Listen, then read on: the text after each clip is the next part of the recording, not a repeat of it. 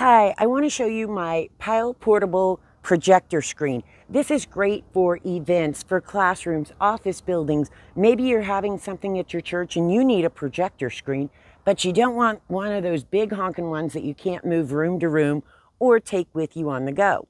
Well, this is your answer. Right now I have it at 55 inches tall. The white space here is 32 by 24. This does fold down so it's easy to take with you. It's got tripod legs and let's just take this down. We're gonna lower the screen. Gonna unscrew this, drop it down, and gonna try to do this on the camera while y'all are watching. And there we go. So it folds up nice and small. You can take it without a big issue. So go check it out.